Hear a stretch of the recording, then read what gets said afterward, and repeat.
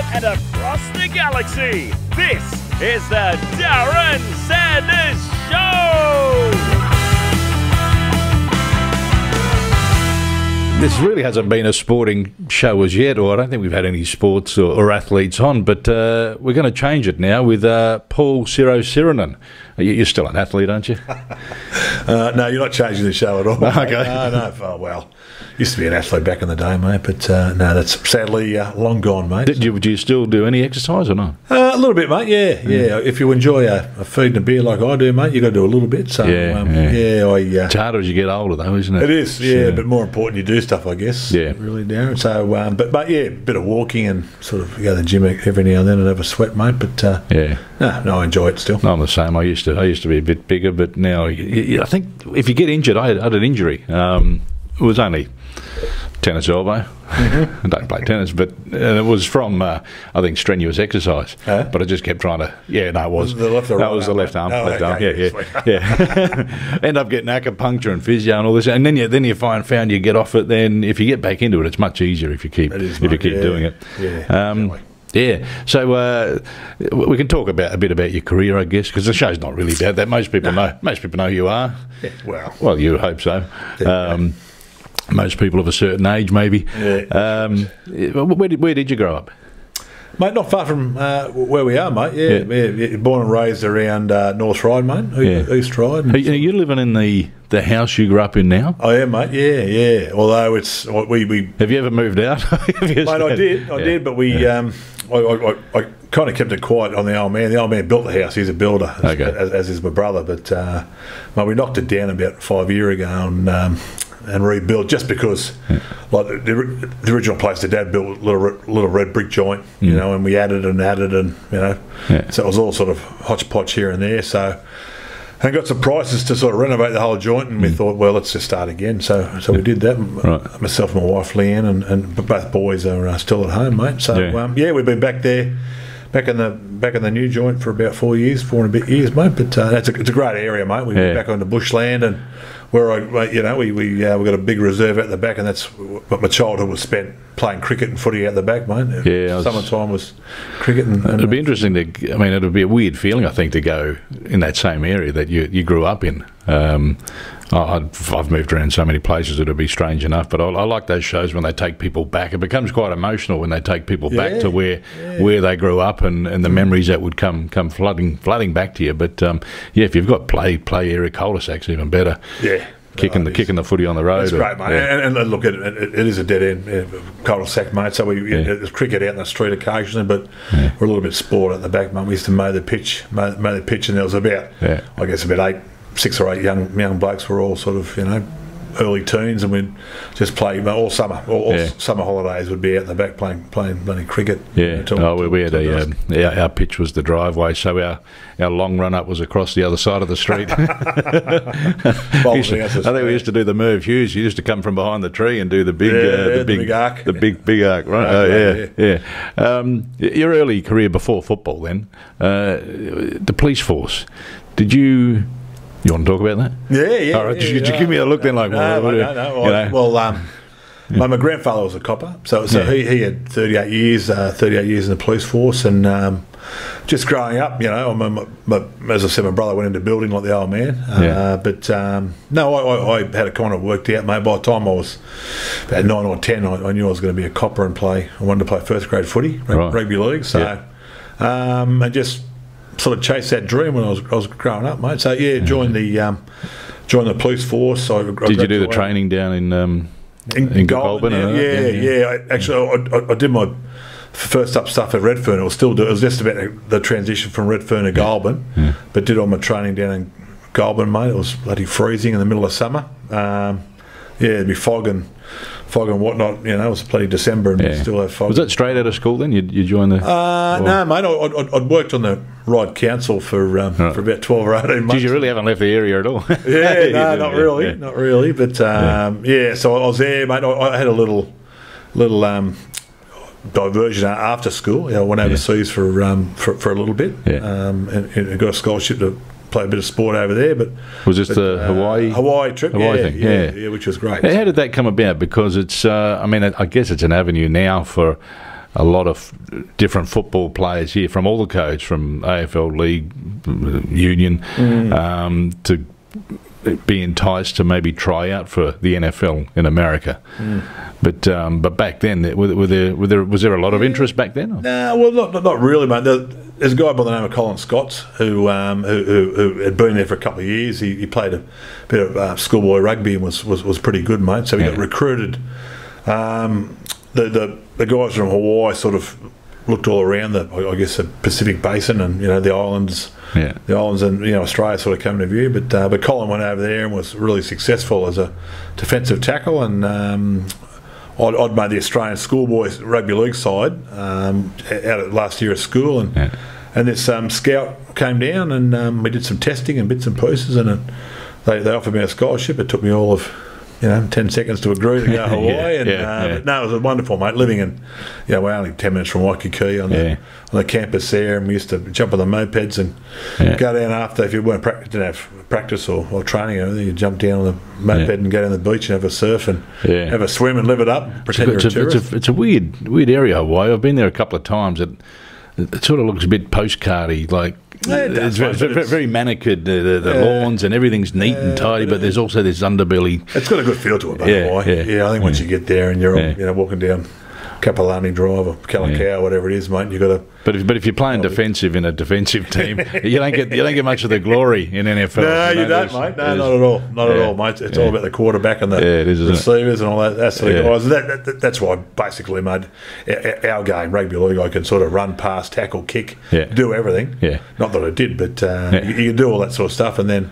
you know you, you get sort of you're a, you know just a defensive tackle. So basically, your, your job is to shut down the quarterback or the running backs, and, and that was it, mate. So Hmm. Yeah, uh, so look, I I went over there and had a great time, and Yeah. as a 19 year old, lived it up, and but uh, I, I said, look, I've got to get fair income. And, Can't drink till you're 21 there, though, can you? uh, Hawaii, Well, Hawaii was 18, would you was it? believe? Oh, right. Thank God for that. So. yeah, Not that it's off the college That'd blokes, of- mate. yeah, so- yeah, yeah, that'd be part of the- part of the clause of the contract. time on, on Yeah. campus, mate. Yeah, Yeah. have, a, have a wonderful time. So, but uh, came, came home and um, yeah, I, I sort of played played a year of the lower grades for the Tigers, and Yeah. then um, mate, yeah, I was you know played first grade the following year, so it was a Yeah. pretty good decision. Well, yeah, yeah. Your, your career sort of shot shot up very quickly, didn't it? With the uh, Mm. rookie of the year and Uh, uh, a couple of grand finals when you Yeah, first yeah. started. It, Um, was, it was funny because uh, back in the day, Yeah. like you're told not to do heavy weights. Uh, yeah, like league circles, I don't heavy weights are no good for you, and Yeah. uh, that's all I did over there was put on size and Right. size, strength, and power, and sort of came home and I, I, I played a couple of games. I, I came home for summer vacation when I was there and played some lower grade games, and just because I'd been in the gym, mate, and got plenty bigger and stronger, and I was throwing blokes around, so I thought, oh, Yeah. this is all right. But Yeah. uh, yeah, no, it, it um, it's a bit different now, mate. They, they love the gym, so was it a full time job for you or not? No. no, well, no, No, no, no. yeah, not yeah. till um, Super Super, Super Greek came in, Super Yeah, League, yeah, in oh, the yeah. late nineties, mate. But Yeah. uh, I mean, if you look at the blokes from the you know seventies and eighties and, and before, mate, they're all got dogs' bodies, you know. They're Mm. Yeah. all shoulders like a brown snake, mate. Yeah, There's, oh, not I too remember many it's the same. Man, I grew up. Yeah, that's right. Grew up in, uh, in Adelaide where. Yeah. Uh, um, you know, AFL AFL Mm. teams. You, you'd have the quarter time break, and guys would be smoking. Oh, mate, yeah, you yeah, yeah, just into the- into the rooms half wasn't time. too much different. Yeah, mate. Yeah, yeah. it wasn't too much different here, but uh, Yeah. but no, it that transition came in the sort of nineties, and Yeah. blokes had to justify having you, you know, full time. So bloke, you know, you're in the gym, you know, three, two, three times a Yeah. week. Then So, so th- was that the change then? The whole professionalism of, of all the sports, of probably all the codes Uh, turned that league- way, or league did. I, I don't know when cricket. Cricket went. yeah. Cricket may have went a little bit before. I, I don't Yeah. know, mate. I think cricket's in uh, trouble just because of social media. Yeah, that's, some, uh, that's those guys. I mean, there's a good blokes to follow on social media. Cricketers, Yeah, ex-cricketers. Yeah, Uh, yeah. But uh, they always have some good stories at the Yes, functions, and they do, mate. They do. But uh, but I, I think the AFL and Mm. league were, were the NRL were fairly closely linked with the professionalism, and the, Yeah. and the rugby union was wasn't far behind. They Yeah. become professional and just started paying tax, mate. Unfortunately, they're all Yeah. that, so, Yeah. so that happened. Uh, playing for the country, then that's uh, it's a sport where you do get to play for your country and, and travel as well. Um, what are those tours like? The kangaroo tours were wonderful, mate. And, and uh, the one of the, the the big things that happened with the Super League was that they, they, they stopped doing the kangaroo tours. So every four years, you'd, you'd go away with you know 28, uh, 28 blokes that picked to go overseas. And Is there anything just on that? Are there, when you play club games. There's a lot of rivalry and hatred and digs at other players. What, what does happen though when you're all put together on, on one of those tours? Does, is there is there an underlying thing still I think still there, or is that just No, not really, mate. If, if, if you're if you're a bit of a dickhead, mate, you don't. Yeah. You generally don't get picked. You Yeah. know? I mean, Yeah, yeah. ev- every now and then there's, there's one or two blokes who get sneak through, mate. Yeah. But uh, but by and large, I think it's all about sort, sort of dynamics too. You know, if, Yeah. if, if a bloke's a you know a bit of a tosser, that. they generally Yeah. don't get picked for those trips. Yeah. But uh, yeah? I think that's happened in cricket. yeah, does, mate. That- yeah, well, exactly. Yeah, I mean they, exactly. they've got what eleven. They've got to find eleven players and Yeah. that, that gel and That's right. Yeah, That's right. So, so league, league a little bit different, mate. But you you get together and have a few beers, and it tends to break down all the barriers, mate. Mm. Yeah. If you've got any any sort of uh, differences with a bloke, you, you tend to iron them out there over a few, over a few beers, and Yeah. just get on with it, mate. You'll, you'll be playing for your country, so that that's Yeah. it's a great thing. So, uh, but mate, yeah, just wonderful memories, mate, of, of kangaroo tours because they're just. You know, you're five, five, six weeks in, in, in the UK, based in, Mm. you know, uh, we stayed in around Leeds, Leeds and Man- Manchester in 90, but Leeds in both, uh, I went 86 and, and 94 yeah, and stayed in around Leeds, which are rugby league towns. So, yeah.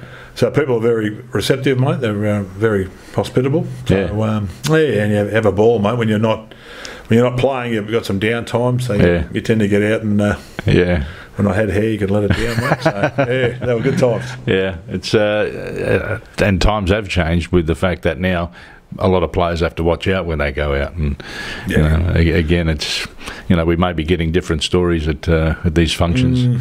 Like I said in a few years' time, where you know they're going to be a bit boring. Yeah, yeah. Oh, look, well, we know everything, but uh, Well, well that's yeah. the, the thing now is with you know you can film everything too. So if players Yeah. are playing up, that's a that's a one one. one Yeah. But you know, well, I mean, one good thing for us when we played, there was no you know no cameras around really. Yeah. But, uh, It, it is. It is a bizarre social thing now that people want to know things. You know, I just look at even little things like you know somebody's got a, a future script of Game of Thrones online. You know, and somebody's hacked in to get a. Get, you know, just relax, wait, and watch the show. Well, let, let it. You know, there- there's. Are they really? Where is it? Oh, I can't tell you where it is. But yeah, somewhere. you know what? I watch. Did you watch Game of Thrones? mate, I I, uh, I I had the man flu a few weeks back. Yeah. So uh, got hold of the first three, the, the box set for the Oh, first yeah. three. Oh, Yeah. mate, wow! I, Yeah. It got me after the, about the second because I, I'd, I had friends who watched it. and I said, "You're Yeah. kidding yourself, aren't you?" But Yeah. uh, it got me after the second episode, and then I think I ended up watching the six Watching series. yeah. Six series. I- I did- I did that About on a sixty hours in two weeks, mate. Yeah. It was a it was a punch. Yeah, that's how I got into. it. I was, I was stuck on a ship, and Yeah. you know, so you just end up watching one after the other, and you think, oh shit, what happens next? Yeah, I know, Go back to the cabin, flick on another one, wake up in the morning. I'll just watch a quick episode before Oh, breakfast. there's, and there's Khaleesi with no gear on. oh, wow. it's, it's I think you just get those highlights fun, on? YouTube Yeah, yeah, exactly. yeah, exactly. but, but now, um, yeah, I just uh, you know what? I watch it now. I, I think because I had that gap. Of, of you know when when you catch up on it all if, if you binge Yeah. if you binge watch it you know what's going on Yeah. but now I'm watching this one going I can't remember what happened last year yeah. I have no idea so I'm watching it going uh, just it just sort of washes over me It does. It does. It would have been. It would have been. So I, I, was, I was quite fortunate, and, and the missus said, "Oh, let's not watch them. You know, oh, don't, don't watch your current ones. Let's let's save them. let's wait and then watch them all in one go Yeah, that's that's, that's probably the way to go. But Yeah, uh, no, yeah. it gets you in, but does Yeah. does it? At the end of your career, then a lot of players will finish up overseas. Mm-hmm. Uh, you did that as well. Is that uh, the financial decision, Uh, or is it a? Uh, Not when you go to France. No. Darren. no, mate, no, no. I um, and I had the opportunity to go to England, but um, what I, I finished with the Tigers in '98, so and the uh, the French season sort of backed straight onto that. So I went straight from finishing. In, um, in, in my career in Sydney, straight over and playing in France. I, I, I didn't want to have a, you know, four or five, five month break and then start training again and Right. then go and play the English season. So Well, wh- wh- why did why did they call you the Beast there? I don't know. I didn't even know they were calling me that. I, I, I, I do research I'm calling me lots of lots of things, mate. Yeah, Yeah. but um, nah, look, I I, uh, I I thoroughly enjoyed my time. I I got there, and the first first few weeks were a bit tough. You know, Yeah. I mean, there was a fair few Aussies and Kiwis where I was, I was playing, which was good. So. They, they, they helped sort of translate everything, and the, Right. and the club I went to was fairly strong, mate. So, Yeah. uh, but um, Yeah, you always think if you don't know the language, how that would Yeah. work with. Yeah, but uh, no, it was, it was a Mm. great experience, and, and, and, and you know the family came over, and we got a chance to, you know, it was like playing, I guess, sort of A grade footy here in, um, Yeah. in, in, in, in New South Wales, but uh, we got a chance to travel, and you know, you could travel to a little town, and Yeah. it, let's say you know where, where I was based, you could go to Bordeaux. Bordeaux was two hours away, down Right. the Pyrenees Mountains, or Yeah. Carcassonne, which is a beautiful walled, it's a walled city. Yeah. That was only you know an hour away, so Yeah. just so much you know the history over there, and but uh, again the French very you know the the, the, the rugby league community's quite tight knit over there. So uh, Did you ever feel like you wanted to stay there then, in that that part of the world, or are you always Oh, happy to come nice, home? Yeah. look, I had to had to get fair income and get home and Yeah. get a job. Yeah. go to woo work. Yeah. you know, but um, yeah, I, um, I I thought about going back for, for a second season just because we, we loved it. But Mm. um, uh, the oldest boy Curtis, um, he um, he started school anyway when we came home, so Right. he started kindy, mate. So Yeah. had to get on with life. But um, Yeah, you don't want some little. You don't want your little son coming home going, "Ooh, wish me." well, mate, we, we, we put him into school over there, just Yeah. into like a preschool, and Yeah. he, he picked it up. It- It's funny, kids pick it up Yeah. that quickly. And yeah, you know, I, I remember picking up from you know, it was like kindy or something from one day, and the teacher said something, and I had no idea what she said, but he, you know, he went over to his table and picked up a book and went over and put it away. And I thought, geez, how'd you pick that up? Oh, yeah, yeah. wow. I think I learned, I mean, when I went to school, we did. Uh, we had a choice, Italian or German, to learn. You know, and growing up in Australia, thinking, when am I ever going to use these? Exactly. And for some reason, I'd pick German. I don't know why. I'm never going to use German, and I can only remember one thing: is uh, you know, wie heißt du? Uh. Which is what's your name? Or watching Hogan's Then I'm screwed. Oh, yeah. Hogan. General Bukata. Uh, so, uh, but uh, yeah, no, we were. Um, I think we're Indonesian, Indonesian and, Yeah. and, French were our options at high school, mate. I'm, Okay. but uh, again, not too uh, not too exciting when you're a 13, 14 year old. No, So, you're yeah, just thinking when am I ever going to use it? exactly. The other big competition, uh, it's probably bigger than, than club rugby. Maybe uh, it is. It, yeah, rugby league. Yeah, is uh, especially when it comes to attendances and, Mm. and figures and watching is, is state of origin. Um, No. is, is it two one sided now? How, do- how do you fix how do you fix state of origin? Do you do you bring in the other states so you so New South Wales can get to play uh, Western Australia? or, Uh, yeah, ah, yeah. mate, it's just no, no. It's um, look, well, you know, I mean, I've got to tip my hat to the, the Queenslanders. They've just Yeah. had look, and it, it goes through cycles, but they've just had some of the best players the game's ever seen. Really, Yeah. in the in the same team for, for the last several years. I, I really thought.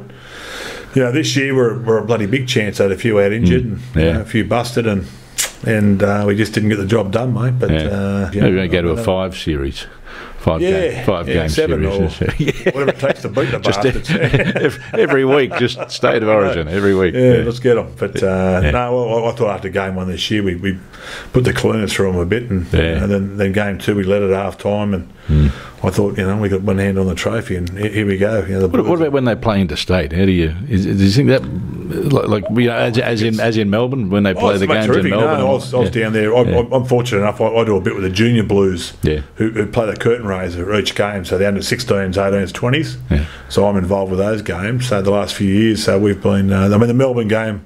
Uh, the Well, it's a great stadium Oh, to watch mate, any sport. I've, fantastic. I've watched soccer down there and Yeah, and AFL, it's, but it's incredible. Yeah. Yeah. so it's you know we had ninety odd thousand there, and uh, Yeah. and I played there. I played there in 90, 94, where Yeah. the, you know the first um, first Origin game. We played we played at Olympic Park, but Yeah. uh, played, played at the G in '94, and there was 88, 89,000 or something rather. And Yeah. unfortunately, it was a bit of a shitty ass game to be honest. yeah. But uh, no, it. Uh, yeah, I mean the crowd sort of didn't know when to. When you're out, when you're out there, can you hear can you hear anyone in the crowd, or, or is it just noise? Because Not the MCG, no. No, it's, but, it's, uh, uh, not really, mate. No, I mean sub- suburban grounds you can because you're Yeah. a little bit closer, mate. Someone Yeah. give it to you about being yeah, they, they question your sexual sexuality at a few grounds and yeah, you know what you do to your mother and grandmother. You know, Yeah. you, you wonder about that, sort of stuff. yeah. But, uh, and you can't no. respond. You can't. No, you can't respond. Can you? you know, I mean, I, um, I mean, for me, when I, I knew it was time to retire. Actually, when I, I was halfway through a game and I was walking to a scrum and I was humming the Wiggles tunes. All right. The boys were the boys were watching the Wiggles, and I was just you know, bloody day and night. So Yeah. I was in my head, and I thought, oh shit, it's time to give it away now. Which So, one? Fruit salad? Uh, yummy, yummy. Hot potato, hot potato. So, mate, it's a true story. Maybe you're just hungry. time to time to get yeah, time to give it away, mate. But uh, but no, look, it's just I, I, look, I was blessed, mate. I had a great time, and some of my best friendships are out of the game, and Yeah. all the good things that have happened out of out of footy, mate. When did the Lowe's thing happen?